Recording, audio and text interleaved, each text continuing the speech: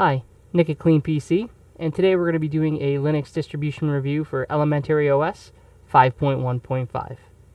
Elementary OS is based on Debian and Ubuntu Linux. It originates in the United States. As of today, July 10th, DistroWatch has it ranked 6th, and they categorize it as a live medium, a desktop distribution, and a beginner's distribution.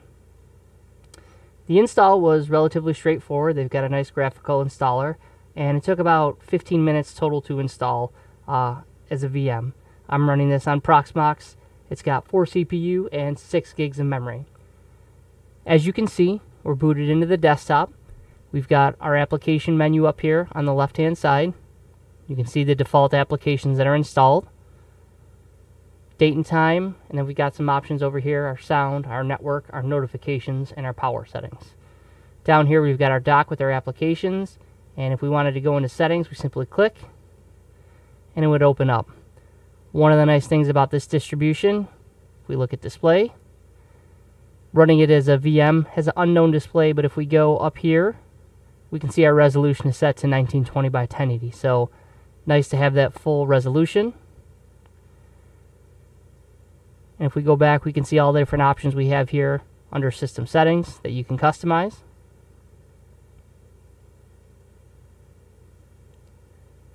One of the things we're going to do is we're going to go ahead and we're going to open terminal. And I'm just going to run htop. I'm going to shrink this down a little bit.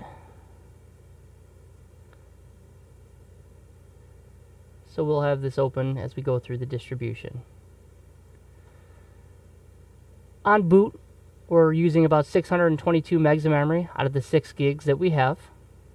And one of the nice things about having the dock down here is if we right click, we can choose to keep this in dock.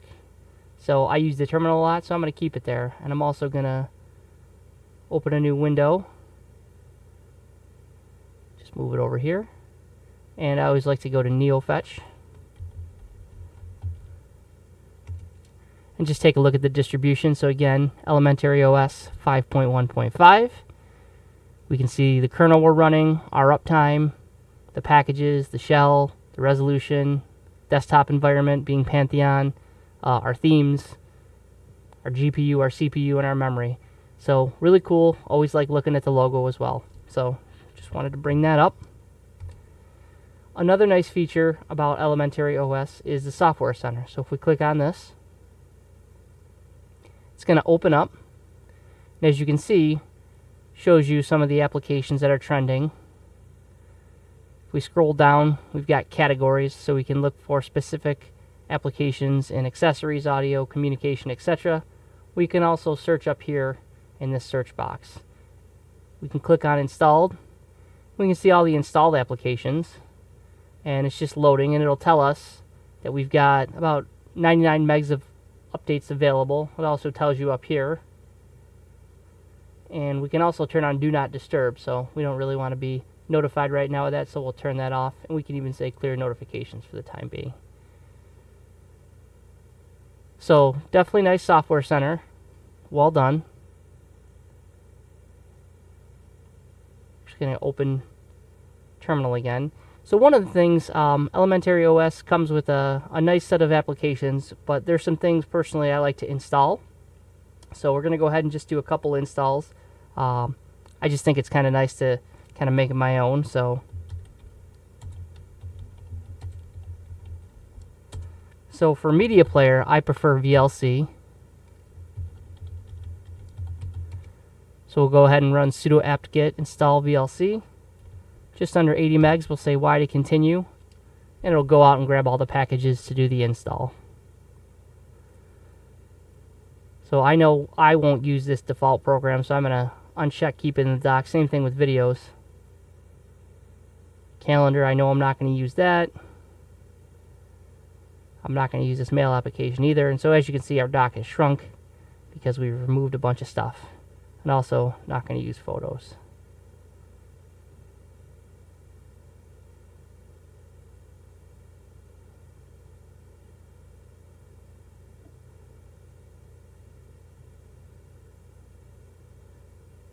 And this is just about done. Should be finished here in a quick second. Alright, so now if we go up to applications, we've got VLC installed. The icon hasn't shown up yet, but if we click on it, it's going to open. So we're going to say keep it in dock because this is something I use consistently. Also going to go back and we're going to install Synapse. And this is a small program. It's like an application launcher, but it's really convenient.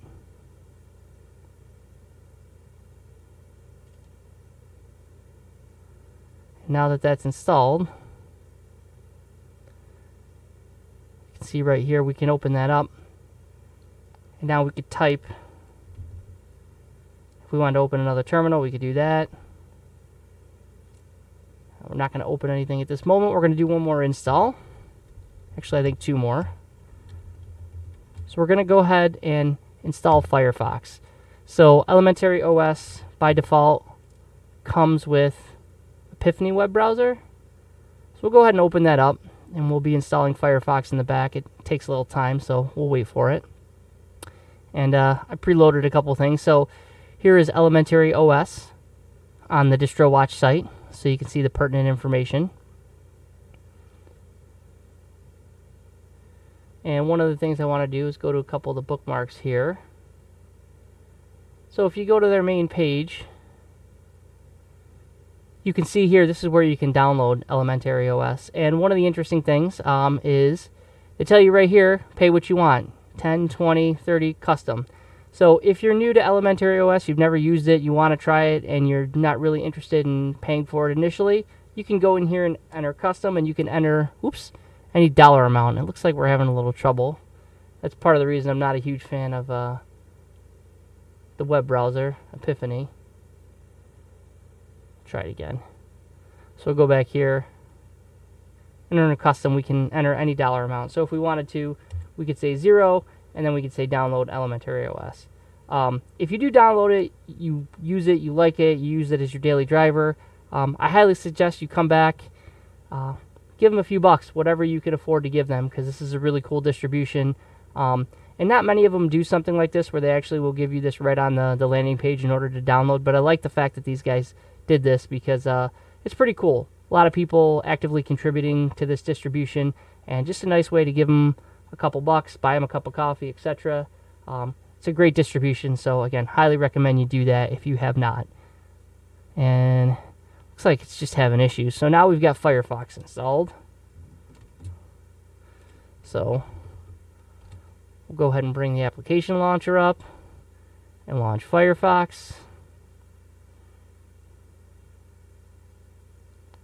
Close this, and we'll full screen.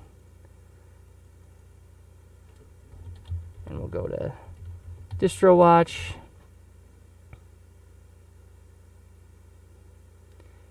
And again, we can see Elementary OS is ranked number 6, so we'll click on it.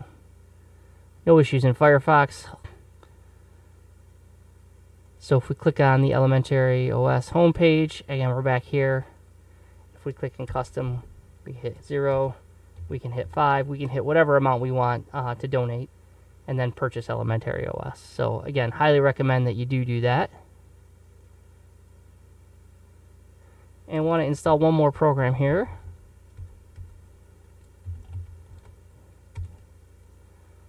So we'll go ahead and install Geany.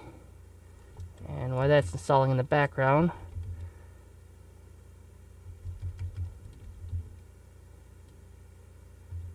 I'm going to open Firefox back up because one of the things I didn't do, I got to minimize it real quick so our dock comes back. And I'm just going to right click and say keep it in the dock. Alright, and open Synapse again and we'll start to type Geany, and that will pop up and we can right click and say keep in the dock. And again, Geany's an editor, it's really nice, uh, color coding small app, but really effective if you uh, edit HTML, JSON, etc. Any coding, really nice small editor to do that. One of the things about the dock down here, kind of nice, you can just rearrange the icons, right? So if we want Geany right here, Can drop it in there. Unfortunately, we're not going to keep Epiphany, so we'll remove that. We can move Firefox over to here. VLC. And probably put the terminal right there. So, and that's nice and easy. The dock's always there. And if you notice, if we open Firefox again, the setting currently for the dock is if we maximize this, it'll auto hide. So it's gone, and in order to have it come back, we've got a not full screen Firefox, and there it is. Now you can change that in settings. So if we look at the desktop,